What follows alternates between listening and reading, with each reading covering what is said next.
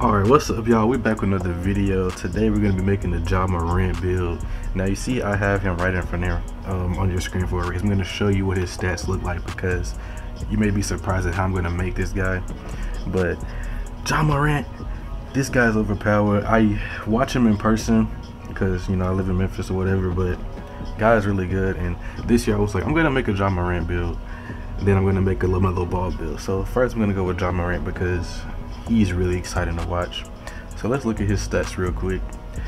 So you see, it's pretty overpowered. You'd think you were like, okay, let's do playmaking and um, finishing. But you take a look at his shooting. His shooting is really good. And you know in this year, 2K22, you can shoot. And you go look at his badges. This man can really shoot. I played him in my career Hall of Fame. Dude dropped 40 on me and had like six threes. So we're gonna make this Ja Morant build, bro. So let's get into it. All right, so since you're making Ja Morant, he's obviously gonna be a point guard. You can go left-handed or right-handed, it really doesn't matter. I personally go left-handed because I'm left-handed. So the pie chart I'm gonna use for this one is this right here. It's the finishing, a little bit of shooting. You can go any physical profile you want to. I don't recommend anything outside of speed though. So you max out all the finishing, you get about 16 finishing badges. That's a that's good enough, but you know you can go 18. So you saw his mid-range shot was a 77.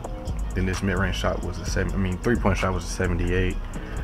We're gonna max out his free throw, and we're gonna just touch his post weight to give him 15 badges. Max out his playmaking. That's decent playmaking, but we want some more, so we'll put 16. Then defense. That's looking kind of sus. You only get one defensive bet. All right, so this build is literally purely offense, as you can see. Now, honestly, when I make this build, I'm not going to be the on-ball defender. one of my friends is going to be a lockdown because I cannot do this at all. You're going to keep his body type. It doesn't really matter. I'm going to go define. He's 6'2", but, you know, you want the drive and dunk to be good, so keep him at 6'3". Make, them make him 185. Short arms, long arms, whatever. We're gonna give him just one above. And you see get lock takeover, but we're gonna we're gonna go slashing because it's Ja freaking Morant. And as you can see, you get slashing playmaker. So let's go look at his badges. Let's see let's see what we're gonna do with his badges, you know what I'm saying? So with this, obviously posterizer Hall of Fame, probably going strippable bronze. After that, you're probably go limitless takeoff silver. Well, no, we're, yeah, we're going to give him limitless takeoff on gold. We're going to put fearless finisher on silver just because. I think we're going to go a little bit more towards unstrippable. We're going to put pro touch on gold. Acrobat on silver. Giant slayer bronze. And other than that, we could probably do grace under pressure, but I'm going to go slithery finisher just because but this is just I'm just recommending stuff. What I would do honestly I'd probably go like that take off acrobat give myself more gold badges honestly or just take that off and get that slithery finisher. Because finishing is different this year but here we go. We're gonna go to shooting. Now Ja he literally had straight silver badges so you'll probably go like this just because you'll get more that's what I would do since I'm not gonna be shooting threes like literally off the dribble. I'll just mainly catch them.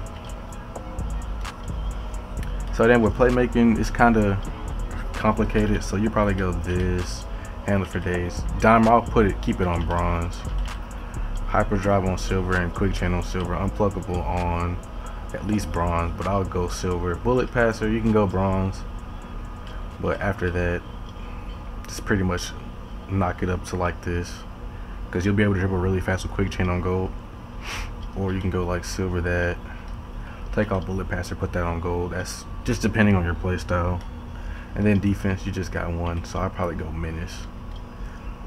But this build it looks really good for offense. Defense i don't know because